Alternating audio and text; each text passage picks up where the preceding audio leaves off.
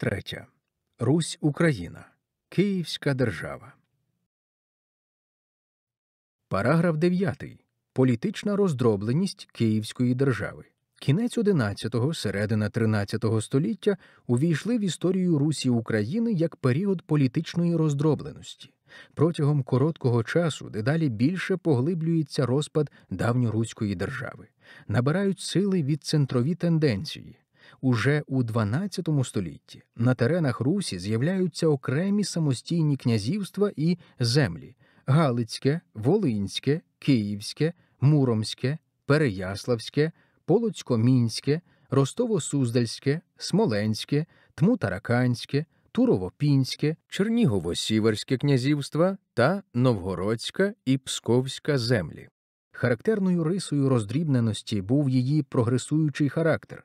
Так, якщо у XII столітті утворилось 12 князівств земель, то на початку XIII століття їх кількість досягла 50, а у XIV столітті 250. Роздроблення дістало у науці назву феодального, оскільки визначальними причинами його були утвердження і подальший розвиток землеволодіння, виділення окремих земель і поява значних політичних центрів, їхнє прагнення до самостійності та незалежності від головного державного центру Києва. Політичну роздробленість Київської держави спричинили декілька факторів: великі простори держави та етнічна неоднорідність населення. За часів Володимира Русь простягалась майже на 800 тисяч квадратних кілометрів, що залежно від обставин могло бути або свідченням державної могутності, або ж джерелом слабкості. Великий князь у цей час не володів достатньо міцним, структурованим і розгалуженим апаратом влади, фактично не мав розвинутої інфраструктури, транспорту, доріг, засобів зв'язку та іншого для ефективного здійснення владних повноважень на такій величезній території. Посиленню від центрових тенденцій сприяла поліетнічність Київської Русі. Поруч зі слов'янами тут проживало понад 20 народів. На півночі та північному сході Чудь, Весь, Меря, Мурома, Мордва, на півдні печеніги, половці, турки, каракалпаки, на північному заході Литва, Ятвяги, Варто підкреслити, що процес механічного приєднання та завоювання нових земель у Київській Русі помітно випереджав два інші процеси формування та зміцнення апарату центральної влади та глибинну консолідацію нових народів і територій, їхнє своєрідне переважання та органічне включення у структуру давньоруської держави, що, врешті-решт, і створювало підґрунтя для зростання відцентрових тенденцій зростання великого землеволодіння, панування натурального господарства. Розвиток продуктивних сил сприяв появі та зміцненню великого землеволодіння. Базуючись на натуральному господарстві, в основі якого лежала замкнутість, воно посилило владу місцевих князів і бояр, створило передумови для прогресуючого формування процесу економічної самостійності та політичної відокремленості давньоруських земель. Велике землеволодіння утворювалось різними шляхами захопленням земель сільської общини, освоєнням нових земель та їхньою купівлею.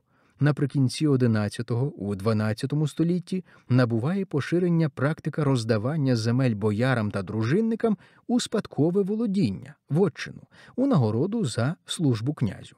За підрахунками фахівців, вотчиних володінь усіх рангів у Київській Русі було понад три тисячі.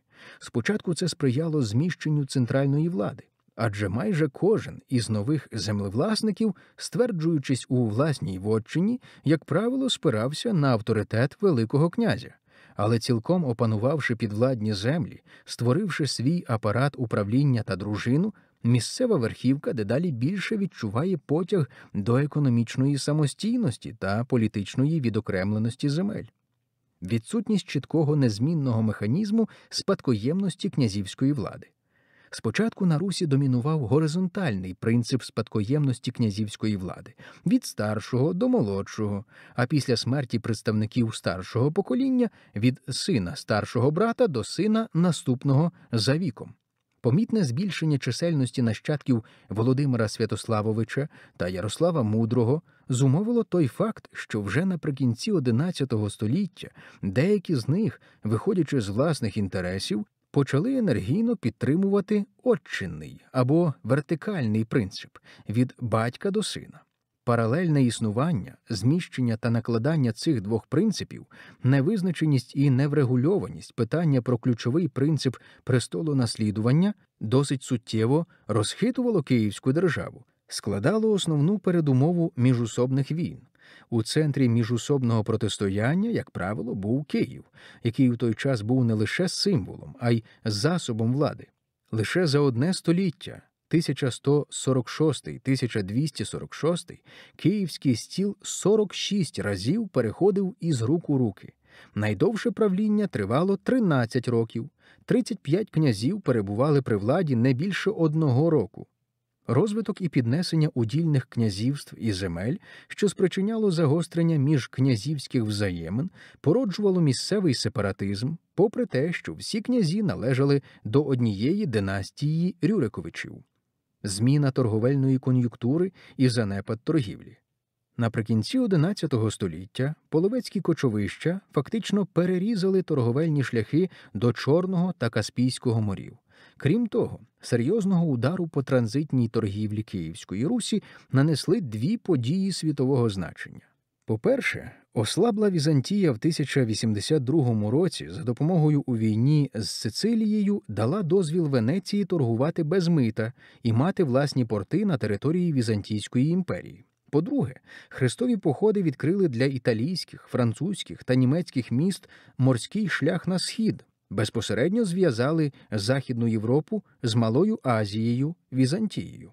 Унаслідок цього Київ залишився осторонь основних торгових шляхів. Такий стан справ не лише зумовив занепад Києва, але й сприяв появі поліцентрії у зовнішній торгівлі. Дедалі серйозніше про себе починають заявляти Чернігів, Галич, Володимир на Клязьмі, Новгород, Смоленськ, Полоцьк. Варто підкреслити, що міста, які зростали на торгівлі, у цей час були джерелом фінансових доходів, опорою політичного впливу місцевих князів, постійні напади кочівників. Лише половці, за свідченням літописців, у 1055-1236 роках здійснили 12 великих походів на руські землі. Хоча, як вважають дослідники, насправді їх було набагато більше. До того ж, половці понад 30 разів брали участь у міжкнязівських усобицях, особливості роздробленості. Остаточно не з'ясована природа роздробленості політична, феодальна, етнічна.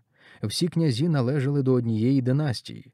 Одночасно з процесом децентралізації у суспільній свідомості утверджувалася ідея єдності руських земель. Кордони уділів, як правило, були незмінними. Період політичної роздробленості в історії Київської держави є закономірним етапом, що відображає не особливості розвитку руського суспільства, а загальноєвропейські тенденції.